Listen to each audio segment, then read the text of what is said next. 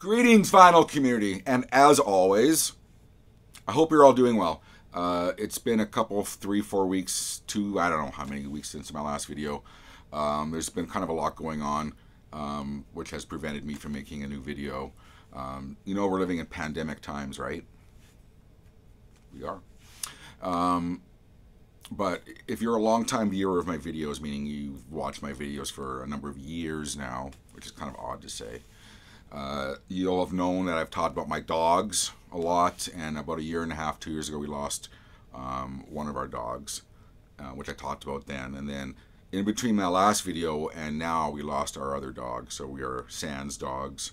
So in between that video and this video, like I said, as I film this now, uh, it's been kind of dealing with that, and it's been um, a little bit more important than dealing with vinyl videos or filming vinyl videos, although you heartless bastards might disagree. But uh, it's really odd when you lose an animal, isn't it?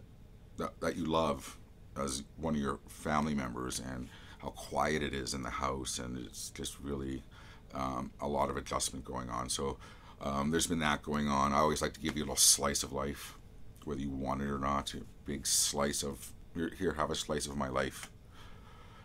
Anyways, um, yeah, and dealing with this fuckered world that we live in with COVID and work has been an absolutely, absolutely crazy.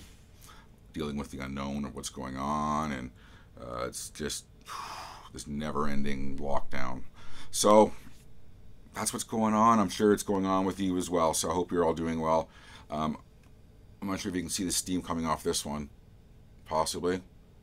I'm to burn my the roof of my mouth for you, the, viewer. That was hot. All right. Um, my last video left off.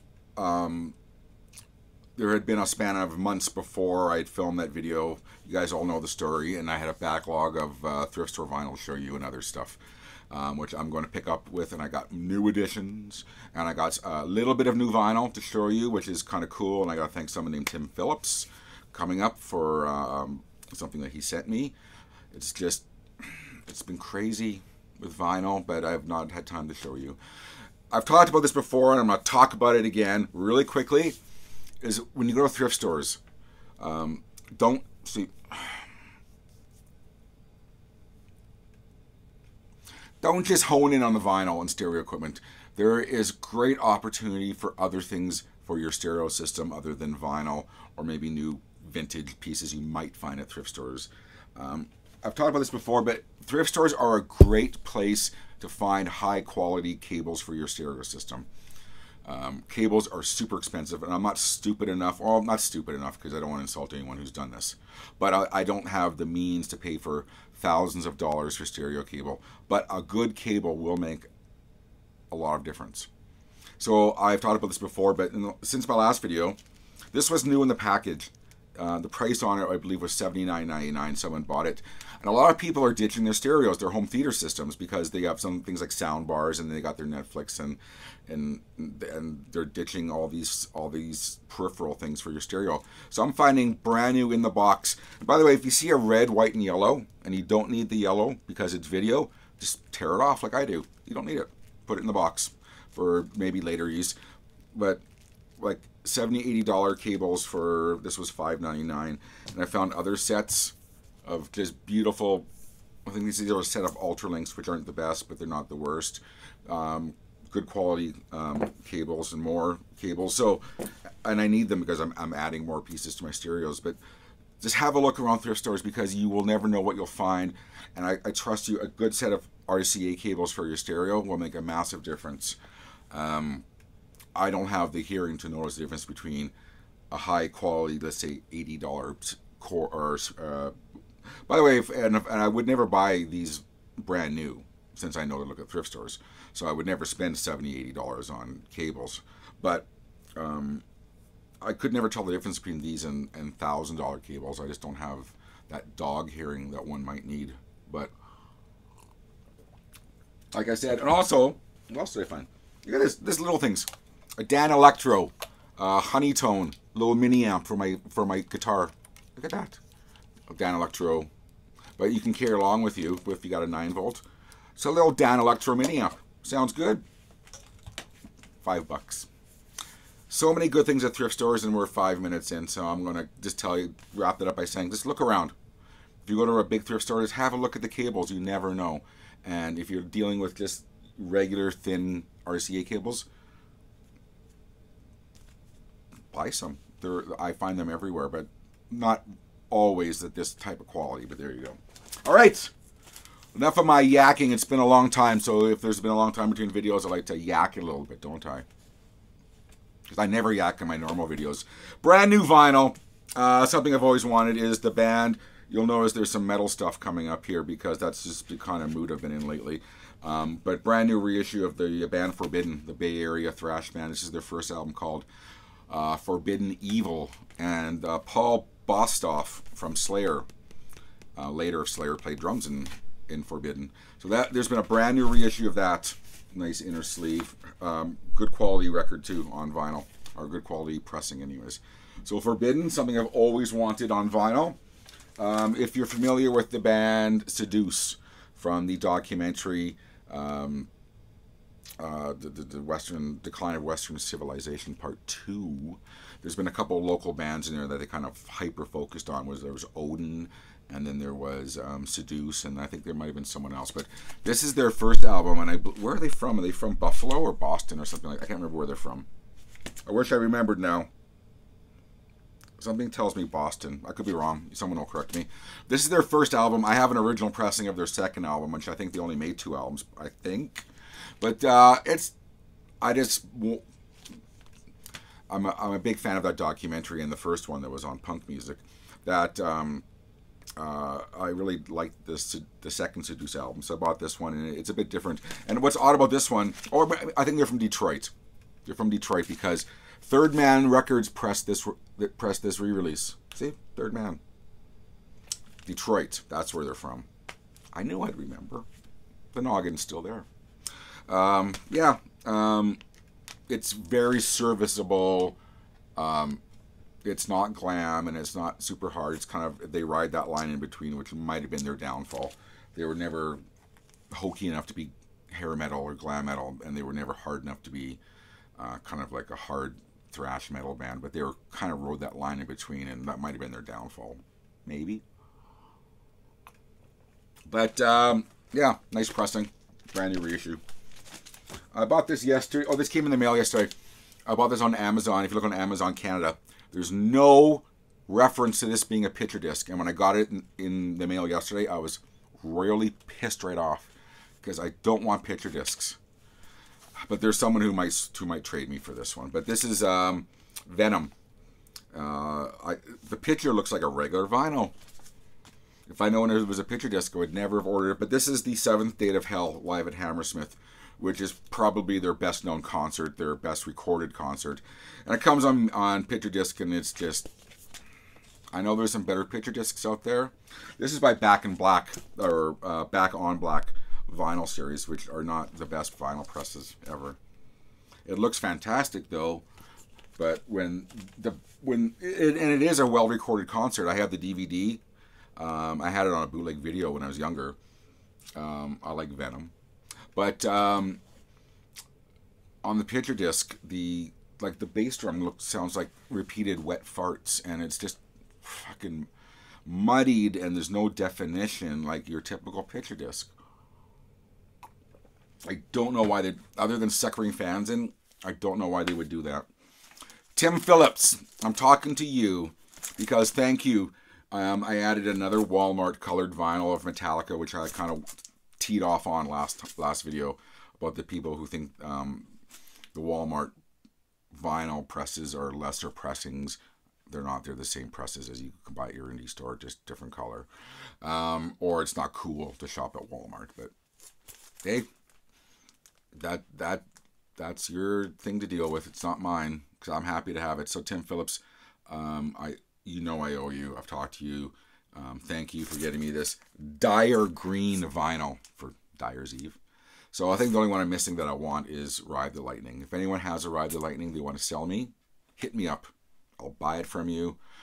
Um, I don't care. I need. I just need Ride the Lightning from the Walmart series. that's it. I don't ask for much. I always offer to pay. I never I never expect VCLTs. I'll always offer to pay. But for those of you who send them to me, I mean, it, it's almost I'm not worthy. But thank you. Um, and let's see, a couple more um, new ones, and then we're going to get to the vinyl, um, uh, uh, used thrift store vinyl. Maybe maybe the noggin isn't working today. Um, I got this via some credit at RCP Records in in my town. Hello Ty. Um, I don't know why I never owed this before, but this is the music on vinyl pressing of the first Metal Church album, um, which is my favorite next to Blessing in Disguise. But I never had this on vinyl, and some 3D there for you. Very happy to add that. That's not. I'm not going to sit here and pontificate on it. This one, I fuck man, I'm going to get roasted for as always because it's the people who've never heard this album. Their first two albums were flat out like I was talking before, just glammy hair metal on the softer side. Although their second album had some good moments, but this album, music on vinyl as well as Winger Pull. Don't judge me. This is not the Winger you know from Beavis and Butthead. This is not the first album or In the Heart of the Young, the second album. This is a whole different direction, and it works. And for people who've heard it, who are into this kind of music, will tell you that it's a great album. It is. Um, I'm I'm not a massive Winger fan, but I heard this album not that long ago, just kind of by accident, or someone recommended it or something. Can't remember, but I I streamed it and I was like, like Reb Beach, their guitar player who went on to play with Dokken and and who's currently in Whitesnake, I believe. He's just it's dark and it's heavy and he shreds and Kip Winger doesn't sound like an, an, an insipid baby not that he ever did, but you know what I mean. The, the poster boy. It's it's a tough, mean, dark album, and this was coming on the heels of grunge, so they really stepped up their game, and they made a third album that didn't get a lot of notice because of said grunge movement. I think. Great album though. Another music on vinyl pressing, my favorite label. We're gonna try to fit this all in in 15 minutes or, or less we probably won't. Uh, I got this at a record store. Sorry, um, this is not a brand new record, but um, someone bought this, opened it, it looks like they maybe played it once, and then they sold it to a used record store, and I got it for fucking fourteen ninety nine or something like that. I don't. I have no clue why, but I saw it and I almost like died because it's Yes. I love Yes. You guys know I like punk. I like everything. So just chill with me. I think that's maybe that's why some people like my channel because it has a lot of everything and yes. This was released for Record Store Day. And what this is, is in Germany, this is the uh, Time and a Word album, which I believe was their second album. Uh, in Germany, they did a they did a different mix when it um, was released, and it was only released in Germany. This mix, and it's a I don't want to say drastically drastically different mix, but it's enough to make a, uh, an audible difference in the mix. Some things are up, some things are placed around differently, but it's a it's if you're a Yes fan and you've not heard the German mix of it, it's well worth um, a listen. And I didn't even know this came out for Record Store Day in, a few years ago. But it has the song "No Experience Necessary," um, no opportunity uh, needed. No no opportunity necessary, no experience needed. But just based on that alone, an astral traveler I was I was thrilled to find that. All right, we're gonna go purely into thrift store vinyl now. Uh, I'm not the biggest Frank Zappa fan, but I got a copy of. Um, I'm slowly adding to my Zappa collection, but these are all thrift store vinyl. This is called The Man from Utopia. Zappa. What year is this? 1983 on his own Barking Pumpkin label. Um, I've seen this on. I had this on cassette actually. Never listened to it because I bought it as part of a bunch of cassette tapes. Look how Frank, how muscular he's looking. Looks like Kane Roberts. But I haven't heard it yet. I'll get to it. Uh, you'll see that I have a, a, backlog of about 50 records I, I need to get to. But uh, I'll, I'll, get there. Uh, Frank Zappa. What is this one? I need to take the cover off because this one is uh, the cover on this one's a bit uh, dirty. Flush the Fashion by Alice Cooper, 1980. Look at that one. Look at look at him. The radical difference for the 80s. Um, this album and uh, was it Zipper Catches Skin or Rips? I don't know. There's a few albums in that area where a lot of people. It's been well talked about. A lot of people don't like that era, but I, I do like this era of Alice Cooper. Um, he did his he was high and then he kind of came down with some of these albums. He was an alcoholic. Some people thought he made inferior al- inferior albums. I disagree. And then he kind of came back with Constrictor and Your Fist and Yell, and then of course Poison, the song Poison, not the band. But anyways, Flush the Fashion by Alice Cooper. Um, that was cool. I think I had it, but now this is an upgrade. Okay, check this out. Um, I always say if you follow me on Instagram, you'll have seen me. Um, I, sometimes when I'm at the thrift stores, I take a photo of me at the thrift store with these records, so you guys see that I'm finding these things at the thrift store. I put the time in. But a very first pressing of a Perfect Circles album, 13 Step, and I'm not even a fan of uh, of Perfect Circle, but it was there in beautiful condition, mixed by Andy Wallace. Oh, maybe I will listen. I'll listen to this but it's a first pressing worth some buku dollar. That was at a thrift store for three ninety nine. I gotta stop the 3D thing, sorry, but um, I don't think I'll be keeping this one. But and by the way, as a side note, um, I've heard you speak, and um, by very popular demand, I will start selling vinyl on on uh, YouTube. But I will have to figure out uh, shipping uh, prices for multiples, and I'll throw out the shipping thing. So when I sell things, I can say to you to you in the U.S., one between this is this. You and your you guys in Europe will pay this. I got to figure that out. I got the records. I just got to figure out the shipping, and I have tons of boxes, and it's coming. Just hang tight. I think this one might be in the in on there, first pressing. All right, uh, Chrome. I'm a massive Chrome fan. Um, I don't remember where I got this from. Was it a thrift store? It might have been a thrift store, or is it, or a local ad. Some of these go back from go back months now. Um, it only cost me five bucks anyways, but it's Chrome's third or fourth album. Chrome, the experimental band. This is on Beggars Banquets, 1980. Uh, I love this album. I've never had it on vinyl, I don't think, but pay ten- pay attention to your ads if you don't already. You never know. Just go on every now and again, a couple times a day, refresh it. And you, you might be the first to get things like Chrome, Chrome's third or fourth album, which is amazing on uh, on Beggars Banquet. Love Chrome. If you don't know Chrome, they're noisy. They're a challenging listen, but worth it in the end. Um, of course, Helios Creed was the main guy in um, Chrome, and Helios Creed solo albums are great as well. Okay.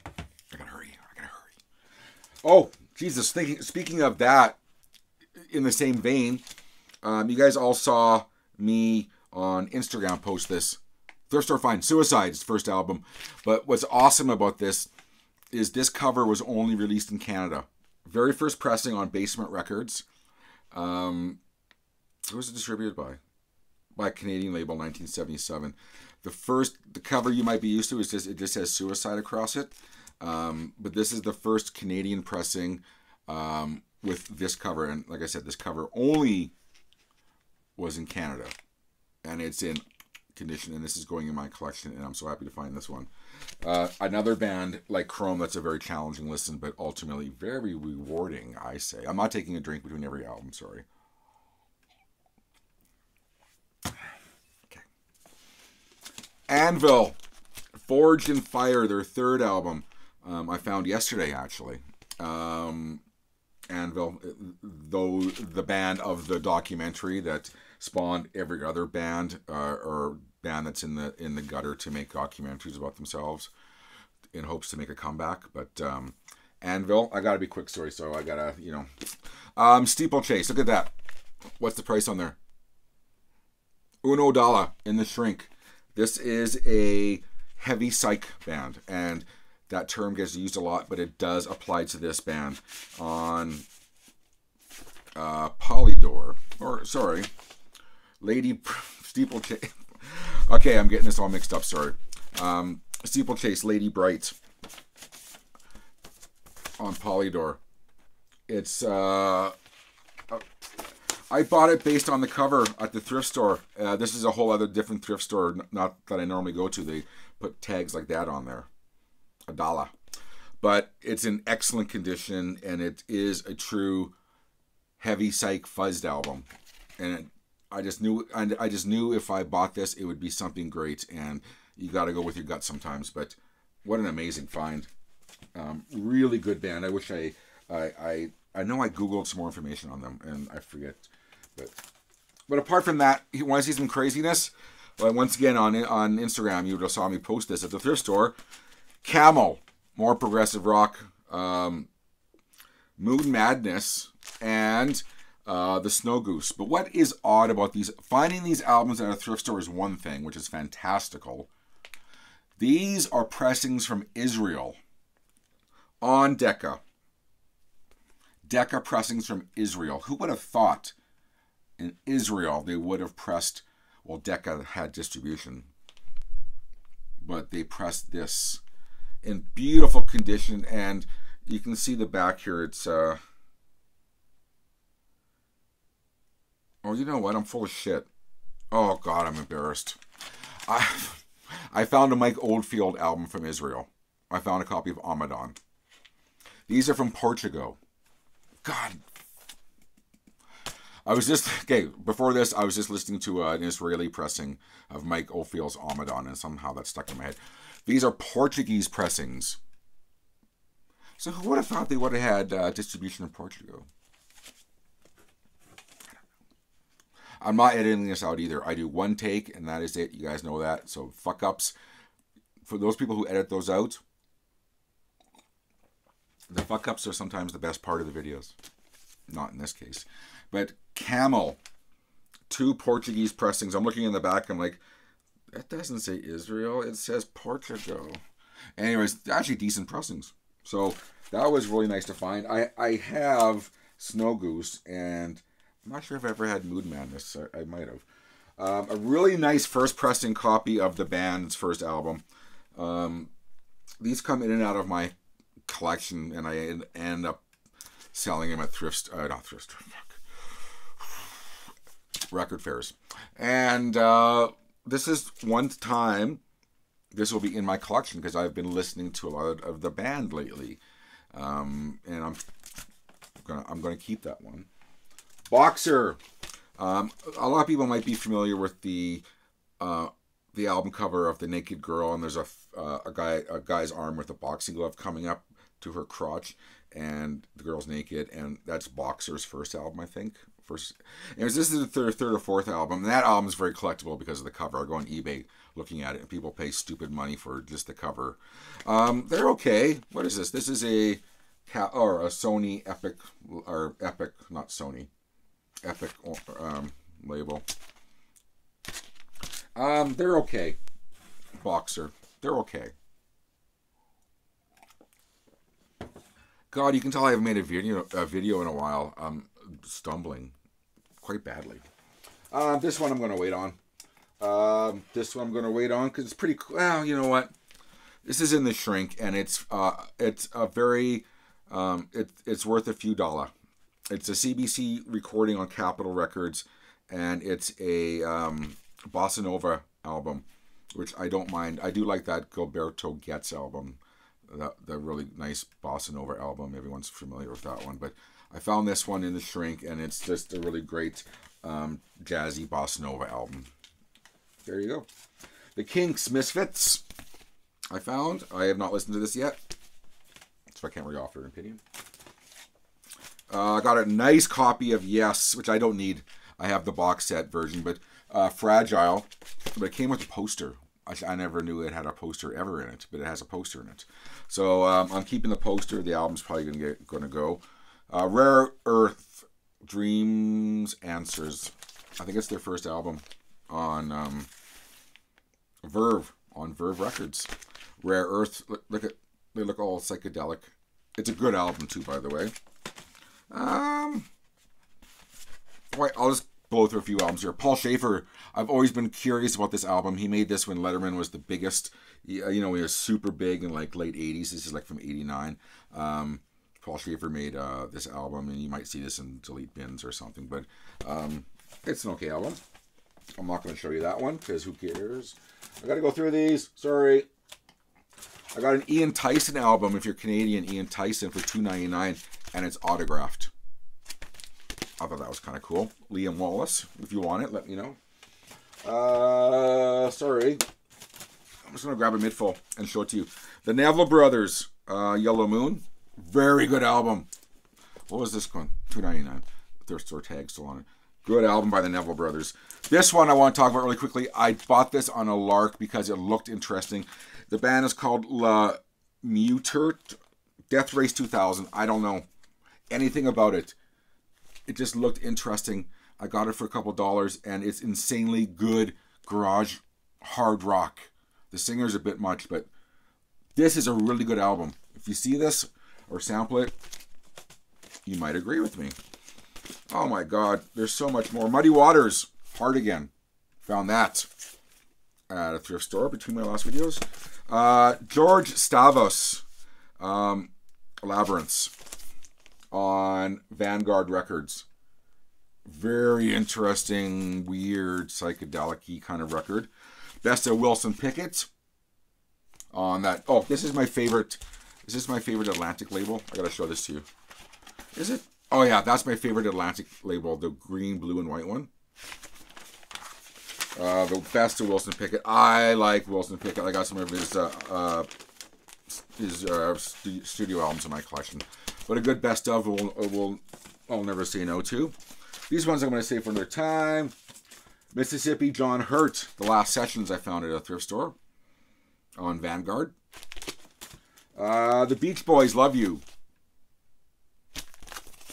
It's better than you would think it is. It's pretty good 70s Beach Boys. Uh, do, do, do, do. Harvey Mandel. Um, Cristo Redentor on Philips Records. It sounds like it looks. Some of you might know Harvey Mandel. Season John Scofield. That might be it. Because, oh, you know what? Let's just knock some of these out just to get them. I can file them. Beatles, Sergeant Peppers, B-52s. This is an orange label, um, Sergeant Peppers, and this is a regular um, Warner Brothers Records of B-52s, which I already have. Um, I'm not sure what else to show you, but you know what? This pile here I got here is going to be for another video. And it's a damn good pile, too. I just wanted to blow through a couple of quick ones to file them. Or maybe sell them. Who knows? Um, I want to say thank you for those who watch my videos don't just wait, wait, wait. Let me let me get this out. Um, I want to say thank you. Um, I appreciate you watching my videos because there's a lot of vinyl videos out lately that are very. I'm not saying this to diss anyone, I promise you, but they're very clickbaity, and there's only so many people out there to watch vinyl videos. It's that's the fact. So, and it's very um, enticing to click on certain videos by certain people um, and a lot of times it's style over substance. And I hope um, the feedback I get, anyways, is is that a lot of people like my videos because it's it's it's just what it is. No edits, no cuts. I say it like it is. I know my music. So when I, you know, when people are very um, flattering, it's very appreciated. When people send me stuff, when people say, "I got this for you," and they live in the States or Europe, do you want to buy this? Because I've been looking for it. I'm like, thank you, thank you. I'm, I'm not worthy. And um, anyone who clicks on my videos, I always say this, and it sounds like I'm pandering, but I'm not. It's very, very flattering. And thank you so much, everyone. Um, I'm kind of going to be back on making videos again once, you know, now that we've had that period of time of mourning, which I'll be mourning the rest of my life, but I'm kind of, I'm ready again to make some vinyl videos and some other kinds of videos. And the sale videos will be coming. Trust me. I gotta get to get to the shipping place and I'm gonna figure that shit out for you. But um, yeah, life's been busy, and I hope you've been safe. Most uh, foremost, and mostly you've been safe, and your loved ones have been safe, And this has been Nazz Nomad. Follow me on Instagram, N A Z Z or ZZ underscore Nomad. Um, please leave a comment, good or bad. Thumbs up, thumbs down, doesn't matter to me. It's all good. I love you all. So take care. Bye bye.